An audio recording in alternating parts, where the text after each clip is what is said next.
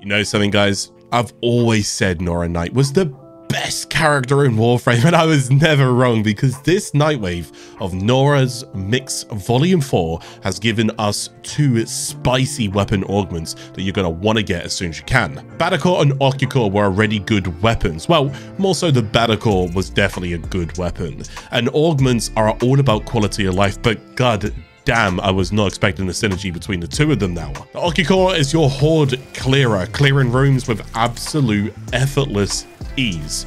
All you need to go and do is get your first kill because that will require you to aim but from there onwards, you practically just spin your reticle around in any direction you want to and watch enemies drop like sacks of shh. The Battacor is your one-shot switch. In what lacks for the Ocucor, the Battacor makes up for and vice versa. So, the Battacor, you want to go ahead and kill at least three enemies with the weapon to build up your maximum alt fire charges, and then you can put the weapon away until it's needed.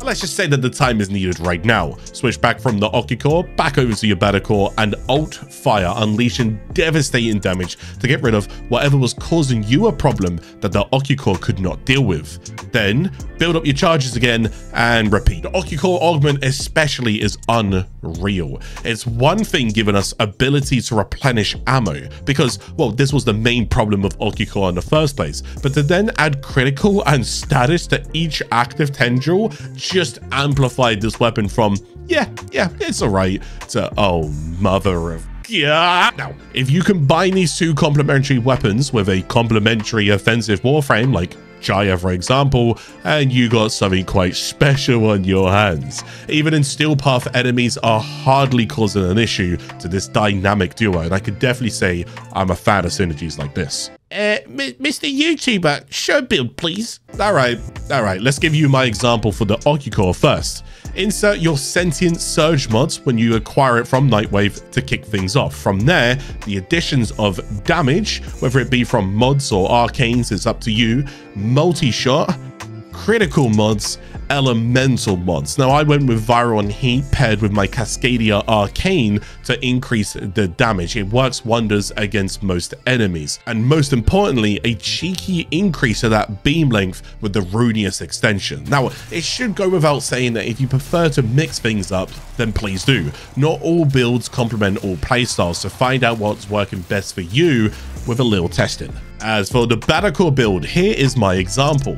Again, start off with the Sentient Barrage mods to go and kick off the builds, then focus on lots of raw damage, flat damage like Serration, multi-shot, critical mods. Now, I would recommend 90% elemental mods instead of the 60% because they give more damage per shot. As for the arcane, I went with Deadhead due to the headshot multiplier damage increase provided. Well, that's if I don't miss a shot, then we're looking pretty good. Now, I do have a Riven on my build, which is an increase to multi-shot, and it ramps up my critical damage to 950%. That's not even including the Sentient Barrage augment added on top of it yet. I will be honest, with these builds and combinations, I personally think the Ocucor got the better of two deals available.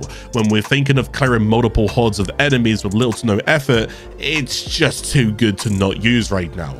It's honestly up there with some of the Incarnon weapons that just came out recently. So I do like the Battacor augment and in no way is it bad. However, I do believe that this is a contested slot when it comes to one-shot primary weapons. Looking at you, Felarx. So it's good for the weapon, but I do see myself contesting against it. But either way, there you go, guys. Two weapons that definitely complement each other in an all-rounder when it comes wanting to kill, whether it be single target one-shotting or AoE enemy clearing. These bad boys have you covered. And that about wraps up this video, guys. Keeping it pretty short and sweet so that you guys can get the information you need to try them out for yourselves. If you do find some neat ways to use them, let me know inside the comment section because I'd love to go and hear your thoughts and try out more with this dynamic duo. But as always, guys, I will catch you guys again in the next video. Subscribe if you're new, and I'll be seeing you guys then.